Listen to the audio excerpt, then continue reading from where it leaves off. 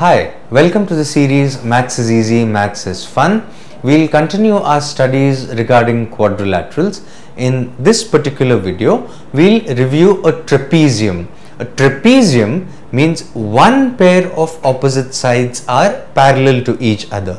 Let's say the length of one side is A and the side parallel to that is B and the other two sides are C and D. So the perimeter of a trapezium is nothing but sum of all four sides A plus B plus C plus D.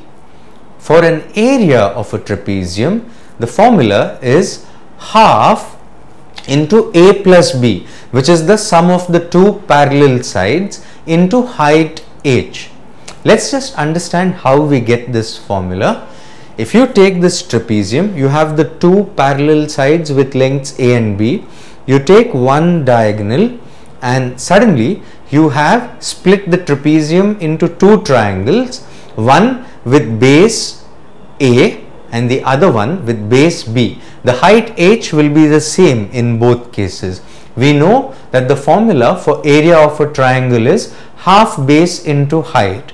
So in this case once we've split it up into two triangles you get area of one triangle as half into A into height h and you get the area of the other triangle as half into B into the same height h. Therefore area of a trapezium is half into A plus B with the sum of the two parallel sides into height h. Then there is one specific kind of subcategory in this which is known as an isosceles trapezium. In an isosceles trapezium, the two sides that are not parallel to each other, A and B are the two sides that are parallel to each other. The two sides C and D that are not parallel to each other, their lengths are equal. So that is known as an isosceles trapezium. Thank you.